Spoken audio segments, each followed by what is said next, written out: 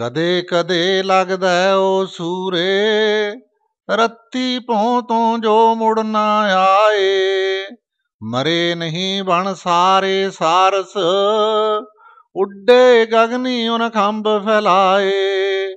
ਉਨਾ ਹੀ ਦਿਨਾਂ ਤੋਂ ਬੀਤੇ ਯੁਗ ਤੋਂ ਉੱਡਦੇ ਗਗਨੀ ਵਾਜਾਂ ਗੂੰਜਣ, ਕੀ ਏਸੇ ਕਾਰਨ ਅੱਖਾਂ ਚੁੱਪ ਰਹਿ ਕੇ ਪਾਰੇ ਮਨ ਨਾਲ ਨੀਲਾ ਨਭ ਤੱਕਣ। ਅੱਜ ਸ਼ਾਮ ਜਿਉ ਕਿਰਨ ਹਨੇਰੇ, ਧੁੰਦ ਵਿੱਚ ਵੇਖਾਂ ਸਾਰਸ ਉੱਡਦੇ। ਫੌਜ ਬਣਾਏ ਇਨਸਾਨਾਂ ਵਾਂਗੂ, ਜਿਉਂ ਸਨ ਚੱਲਦੇ ਧਰਤੀ ਉੱਤੇ। ਉੱਡਣ ਲੰਮੀਆਂ ਮੰਜ਼ਲਾਂ ਤੈਅ ਕਰਦੇ, ਤੇ ਜਿਉਂ ਬੋਲਣ ਨਾ ਕਿਸੇ ਦੇ।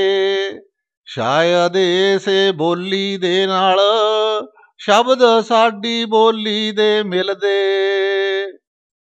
ਥੱਕੇ ਥੱਕੇ ਸਾਰਸ ਉੱਡਦੇ ਜਾਂਦੇ, ਧੁੰਦ ਵਿੱਚ ਵੀ ਜਦੋਂ ਦਿਨ ਢਲਦਾ, ਉਹਨਾਂ ਦੀ ਤਕੋਣ 'ਚ ਜੋ ਖਾਲੀ ਥਾਂ ਏ, ਮੇਰੇ ਲਈ ਏ ਮੈਨੂੰ ਲੱਗਦਾ, ਸਾਰਸ ਦਲ ਨਾਲ ਉੱਡ ਜਾਵਾਂਗਾ।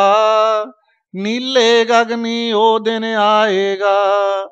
ਧਰਤ ਤੇ ਪਿੱਛੇ ਰਹਿ ਗਿਆ ਨੂੰ ਸਾਰਸਾਂ ਵਾਂਗੂ ਮਾਰਾਂਗਾ ਆਵਾਜ਼ਾਂ।